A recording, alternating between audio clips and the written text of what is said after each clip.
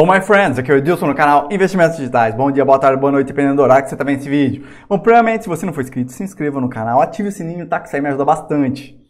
Bom, vamos lá, CryptoBR para comprar seu Trezor One, TCQX e outras carteiras. Bitcoin Trade para você comprar bitcoins, inclusive nos finais de semana. E CryptoSteel para gravar suas palavras de recuperação no aço.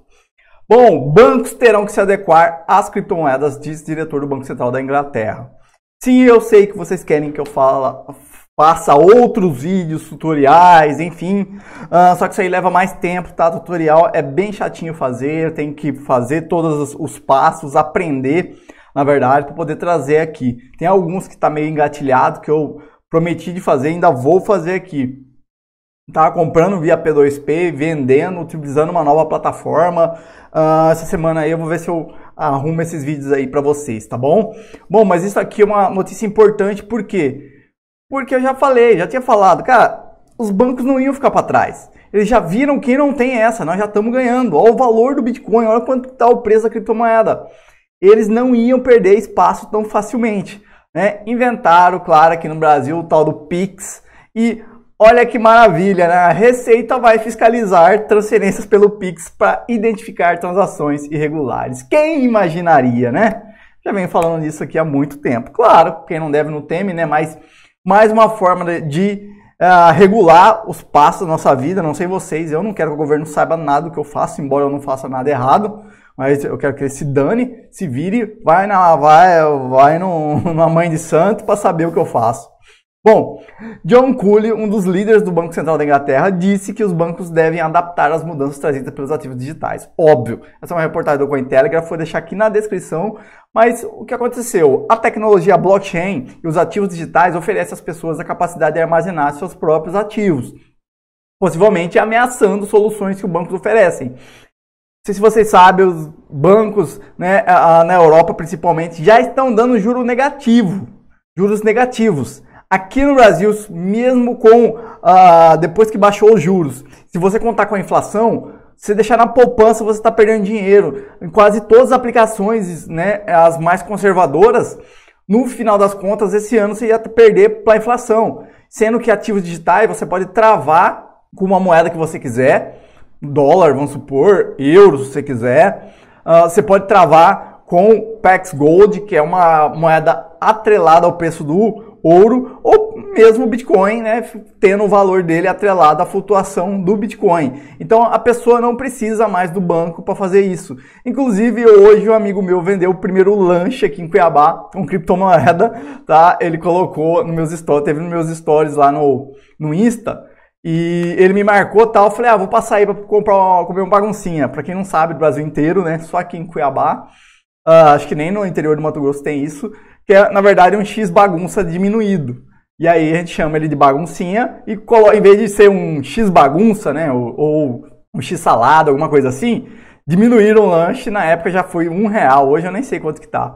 Mas enfim, aí colocam mais coisas dentro do lanche, é, uma, é só nomeação, tá? É um X bagunça normal, um pouco menor. Tem o X bagunça também, tem o X bacon, tudo normal, igual tem em todos os países. Mas aqui o povo gosta de chamar baguncinha, né? O lanche mais barato.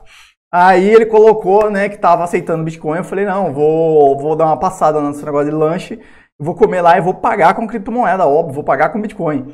E aí o que acontece? Ele tava recebendo, né, numa carteira que tinha uh, uh, o Segwit ativado, né, no caso uh, era a Coinome, e com o endereço, né, PSK2, que são endereços padrão, padrões que começam com BC1, tá? E o que acontece? A pessoa que estava enviando está enviando do endereço é, antigo, sem ser Segwit, que começa com 1 ou 3. Então ele não conseguia enviar para BC1.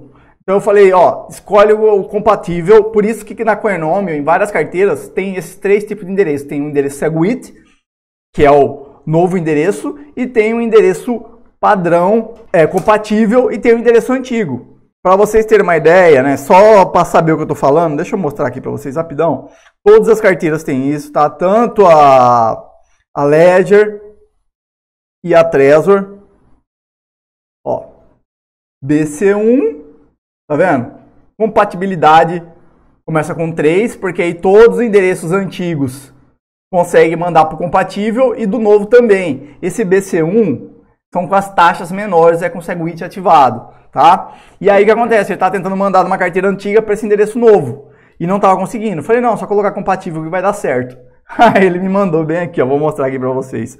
Cadê? Tá lá, guri, primeiro baguncinha vendido e pago, né, por Bitcoin.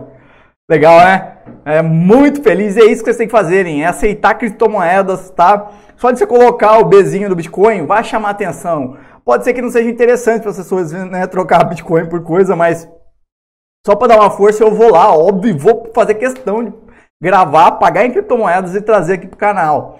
Mas voltando aqui, né? Como você pode ser seu próprio banco, ele já recebeu direto na carteira dele.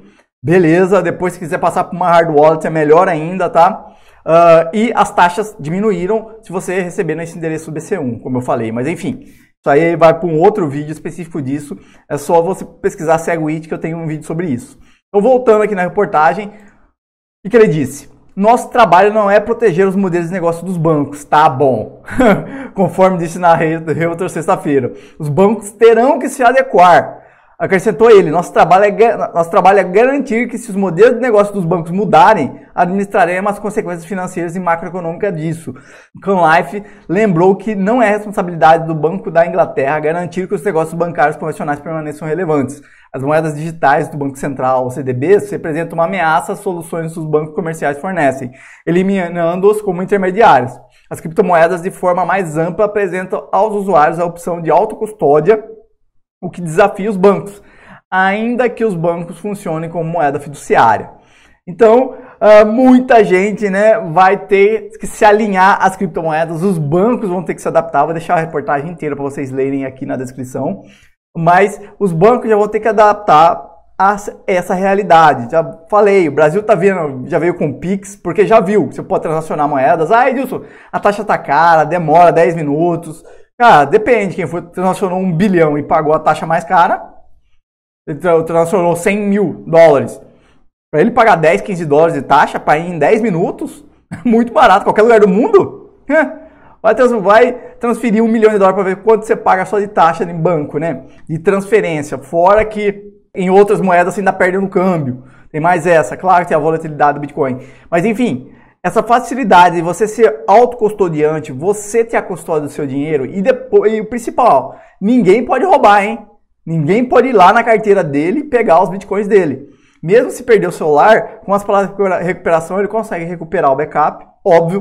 Uh, mas então, os bancos vão ter que se adaptar. A gente está no século 21, a gente usa estruturas do século 16, do século passado.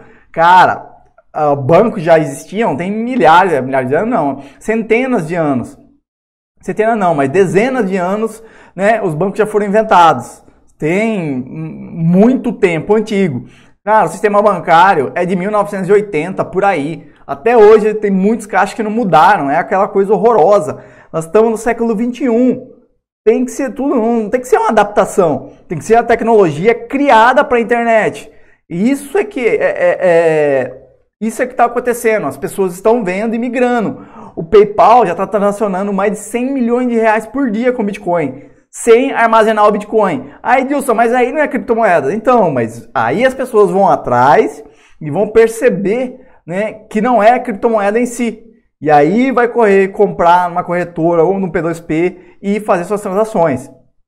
Lembrando, eu vou trazer um vídeo aqui mostrando como utilizar a plataforma P2P, como você ser um P2P, ganhar dinheiro com isso. Enfim, tem outros vídeos tutoriais que estão tá faltando aqui no canal e eu vou trazer. Mas essa notícia é importante porque os bancos vão ter que se adequar às criptomoedas. Não tem boca, não tem mais para eles, não tem. Os bancos agora estão vendendo criptomoedas, estão colocando no caixa as empresas, ou seja, Bitcoin.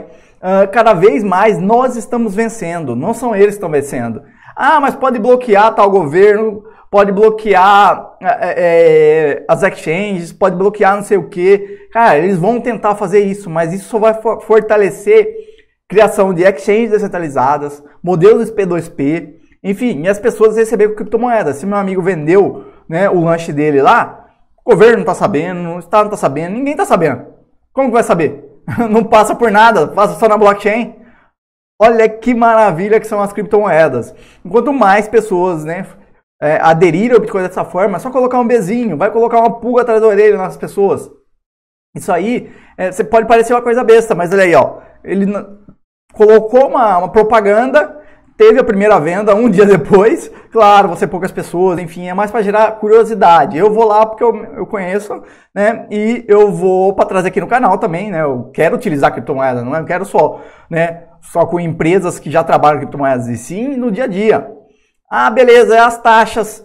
Cara, as taxas caíram agora, claro, não vai ser utilizado para o dia a dia para comprar um cafezinho, né? O Bitcoin não tem essa capacidade, mas em breve vai ter, já tem carteira com a Light Network que você paga, né, valores baixos, tipo, tipo a Blue Wallet. Uh, talvez mais para frente eu trago isso, uh, um vídeo sobre a Blue Wallet usando a Light Network, você pode transacionar valores minúsculos, pagando taxas quase próximas a zero, ou você pode utilizar outras criptomoedas também, dá na mesma. E aí vai da sua escolha. Bom, então é isso. Espero que vocês tenham gostado desse vídeo. Se você gostou desse vídeo, dê um joinha, se inscreva no canal, ative o sininho tá que isso aí me ajuda bastante. Como eu sempre falo, saúde paz, correção de cartaz e fui!